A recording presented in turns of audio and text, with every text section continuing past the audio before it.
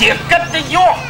អត់ដងអាដាមមហាប្រាសាទដែលបងប្អូនទាំងអស់គ្នានេះទាំងស្រីទាំងប្រុសកំមុំកំលោះចាស់ក្មេងពាក់ស្បែកជើងអត់ពាក់ដៃជើងពាក់មួកបានចូលរូបក្នុងការប្រឡងនំបញ្ចុកប្រចាំឆ្នាំ2006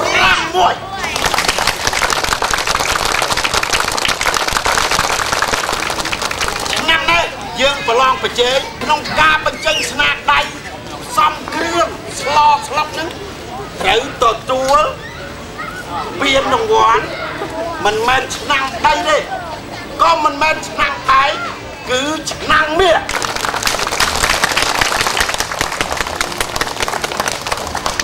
ខ្ញុំបានត្រៀមគណៈកម្មការ3រូបទី1គឺលោកច្រឹងធួ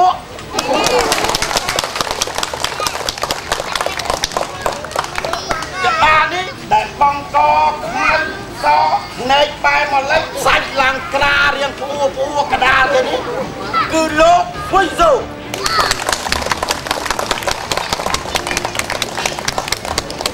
ហើយខាងលិចគេនេះគឺលោកម៉ង់សំអល់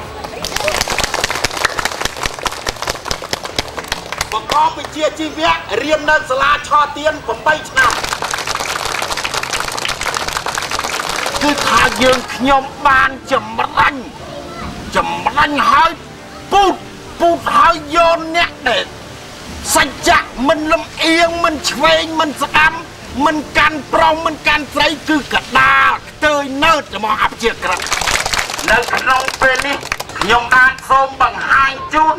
នៅបេក្ខជនបេក្ខនារីដែលបានចូលប្រឡងប្រជែងយកស្នាដៃក្នុងការប្រឡងនំបញ្ចុកថ្ងៃនេះតុទី1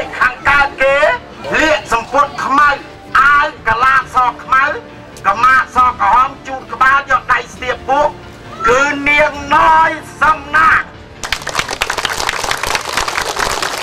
ខាងនារីទី2គឺនាងកាត់តុគឺថារៀងរើទួនភ្លួនដំណើរអែនចុះអែនឡើងមិនស្រួលកពុកទឹកក្នុងបច្ចុកនឹងទៀតបាទចំណោកណាមកបាទសាច់ស្អាតរៀងក៏សំឈរទៅសំយាយពីសំនោះសំអូយត្រង់ចកេះមើលទៅដូចដាក់លីបកង់ហើយគាត់ចាប់ បាទយើងធ្លាប់តែលើចម្រៀងតាមវិទ្យុតាមទូរទស្សន៍គឺលោករៀបសវត្តដែលជាបេក្ខជនទី3នៅតុខាងលិចនេះមើលតែបែបសុភាពរៀបសារឯម្ដងបាទ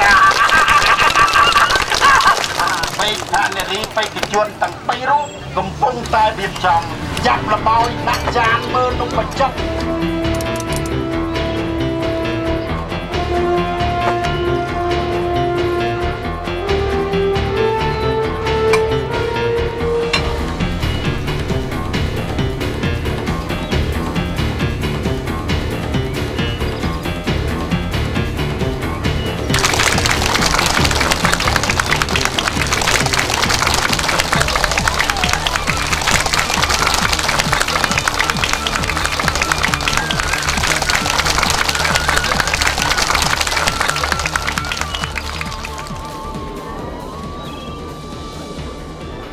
ចាមិនបាច់តាមប្រទេសនាំតែគណៈកម្មការខាំទៅរយវិញចាបោះខ្ញុំបោះគ្រឿងគុកសើចកធំធេតបាទឆ្លងតាមការពិនិត្យរបស់គណៈកម្មការបាញ់មិញនេះយើងសូមប្រកាសលទ្ធផលដូចតទៅបែកខានារីទី1គឺអ្នកស្រីណយសំណាងថ្មីដែលធ្វើនំបញ្ចុកបានល្អលបោយគ្រប់មុខក៏ប៉ុន្តែទឹកសម្លបងប្រហុកជ្រុលបន្តិច